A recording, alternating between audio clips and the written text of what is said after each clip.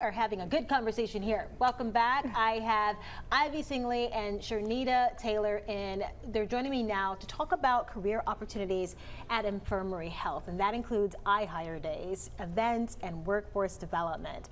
Thank you, thank you ladies for stopping in, especially with the holiday rush going on. Appreciate your time. Um, I want to start first with iHire days. Ivy, what are those? So iHire days uh, have been developed for people to stop by the infirmary any location mm. um, on Thursdays. So mm -hmm. every Thursday from 9 to 3, you can bring your resume and come into the infirmary health and get an interview. Mm. So you can interview with one of my recruiters. You can also interview with one of our hiring managers okay. on that day. So every Thursday from 9 to 3, people can join our facilities and come interview. And what are the career opportunities available right now? So at our hospitals, we typically right now are in need of RNs, uh, LPNs, okay. mm -hmm. and nursing assistants.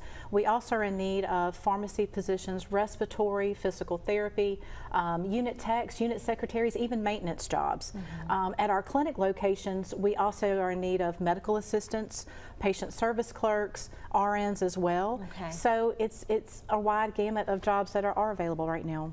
And what I want to bring you into the conversation, Sharnita, and ask about the the workforce development program at Infirmary. Can anyone participate in that?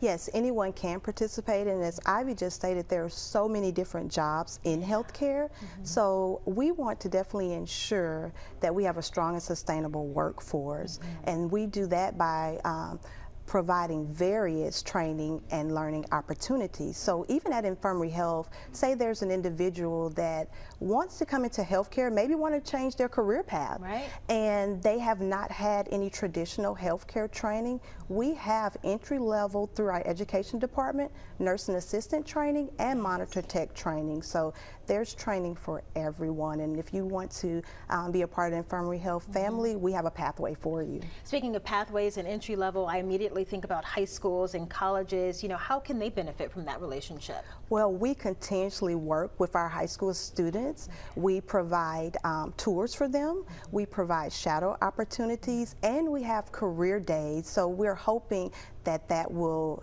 uh, jumpstart their career yeah. in healthcare, and we're hoping that it'll give them the building blocks that they need. And we're also partnered with Coastal Alabama Community College mm -hmm. for, with their apprenticeship programs in um, licensed practical nursing, registered nurses, and surgical tech technicians. And so I want to say that we are excited to be the first healthcare system in this region nice. to offer an apprenticeship program. Awesome. And you know, it seems like in this day and age, it is a very competitive industry for people looking, yes. right? So what yes. are the benefits? How are you enticing these people to come work for infirmary? So I will say that infirmary has the best benefits uh, of any employer, uh, but you know we do have the health insurance, we have retirement, we have short-term and long-term disability, um, we have ETO, um, we have uh, the tuition reimbursement, which is funded by our infirmary foundation fully. Mm-hmm. Um, we also have uh, wellness programs, mm. so somebody can go to see a nurse practitioner if they're at work and they're not feeling well, mm -hmm. and then have have their prescription sent to our retail pharmacy and they fill it while they're at work. Yeah. So our benefits are very competitive and um, very good for our employees. Well, I thank you ladies both for stopping yes, by. Thank you. I'm thank sure the event will be a success. Yes, thank you so much. And so you can go. We're going to have it posted for you on our website, our YouTube channel. You can share it with someone you know. I'll look for it shortly after this newscast. Thank you again, ladies, for stopping by. Thank, thank you. you.